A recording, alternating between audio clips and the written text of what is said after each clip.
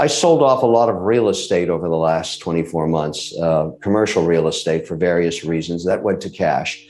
And when I called the cash desk, they offered me 22 basis points. And that's the journey I took into crypto. I'm now using stable coins um, with a company called Circle in USDC to actually stake stable coins in 30, 60, 90 day contracts. And I'm getting about 6.5%. So at least I'm holding my own against inflation. Uh, but that is a cryptocurrency and it's not regulated yet. So I don't expect many corporate institutions would do the same thing.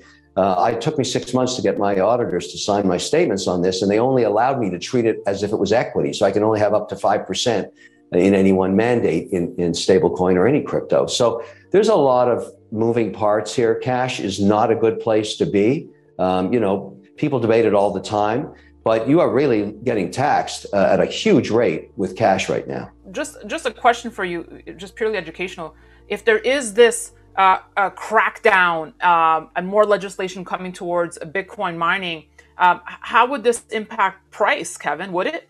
I don't think it would affect price. Um, the there, there, Bitcoin will be mined in perpetuity somewhere, and there'll be these coins awarded into pools what's going to affect price and why I'm long Bitcoin and why I'm investing all this time and money in, in, in these facilities where I have direct ownership is at some point in the next two to three years, the US regulator is going to rule on cryptocurrencies and they will rule first on stable coins and Bitcoin itself and Ethereum and, and the, the, the very large assets by market cap.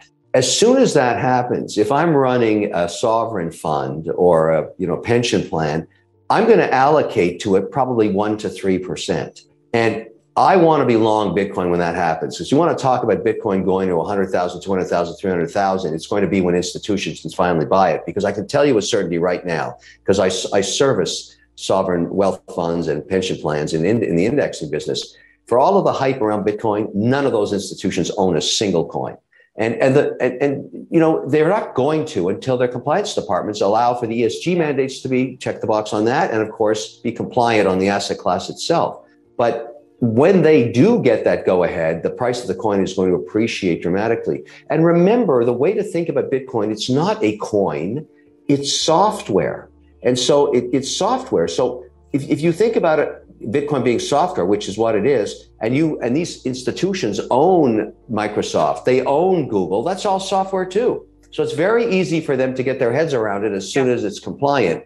They'll buy one to three percent, and that's when the price is going to appreciate. And I, I think that's going to happen in the next, you know, two to three years. No, thanks for answering that because I was wondering, are guys like Michael Saylor sweating with um, with uh, you know the crackdown coming on, on Bitcoin mining? So that was my. Well, but I, he should be concerned. He should be dumping his shares in the dirty miners and and redeploying it in the clean miners long before the regulator regulates. Many institutions are not allowed to own Bitcoin. That's well known because it just hasn't been ruled by the regulator yet. So, as a proxy to getting exposure to Bitcoin, they buy the equities of public Bitcoin mining companies, Marathon, Riot, etc. These companies um, mine the Bitcoin and keep the majority of them on the balance sheet. So as time passes, more and more assets go on the balance sheet and it trades with the volatility of Bitcoin. You can watch these stocks go up and down almost in complete proxy to Bitcoin. However, recently, because of primarily the Larry Fink ESG mandate that came out of BlackRock, the largest money manager on earth, the number one manager of sovereign wealth and pension plans, BlackRock said, look, here's how we feel about this. You have to have an ESG sustainability mandate. And that includes a mandate that can be audited.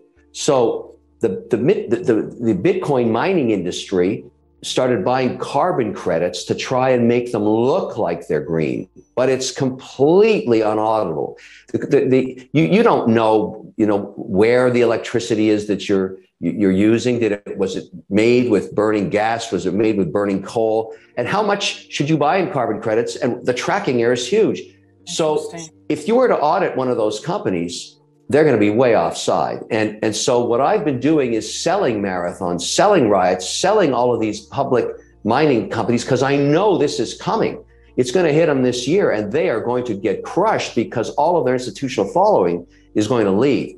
The solution is emerging in countries like Canada Norway, even in upstate New York and West Texas, where these new generation miners, these new companies are setting up mining operations beside hydroelectric, wind, power, and nuclear. And the reason they're doing that is there's no carbon in that equation. They don't have to get audited. They don't have to buy carbon credits. They don't have to worry about it at all. And they're doing the same thing. So I took the capital that I made by selling all those dirty miners, if you want to call them that, and I put it into these new companies that are that can show me that their their facility is being built in Norway, and that, that's one of the biggest projects right now. Um, th- this is really important because now I know with certainty that every coin I own is mined sustainably, not using carbon at all, doesn't need to have a carbon credit. The government there supports the activity. In this case, in Norway, it's in a town with 3,000 people. Many of them work at the facility and this miner. And this is the new story that's going to have to emerge to offset policy changes at the, at the federal level, uh, domestically and in other countries. We are using the heat from the stacks to grow hydroponic vegetables for the village and helping fish spawn with a rookery that we're also supporting. So that's how you integrate in with society. That's how you become a good corporate citizen. That's how you stay compliant with the ESG mandates. That's how you're going to um, mine Bitcoin. So if, if I were an institution now, I would I would be very careful in what Bitcoin mining stocks I own. Stay out of the dirty miners. If they say to you they're buying carbon credits, run for the hills. Do you want to know one thing about crypto? I made over 3000% in profit in a few weeks.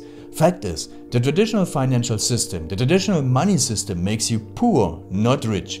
If you want to earn 500,000, 1 million dollar, you have to wait until you're 50, 60, 70 in the traditional financial system and you probably will still be broke. And you will be old. This is not a sexy combination as you can imagine. But the question is, how can you start in crypto and make these profits? Where to invest? Where to start? My name is Gunnar and I'm from Germany as you can hear and things are a little bit different in Germany. More about that later on. Fact is, there are lots of different cryptocurrencies. It's a gigantic universe where beginners and professionals get easily lost. But there is light at the end of the tunnel. There are seven key steps you need to follow to become successful in this market. You have to know them and if you fail one of them, it's literally impossible to succeed in this market. Just an example, one of the key points is your exchange and one of the biggest are for example Binance and Coinbase.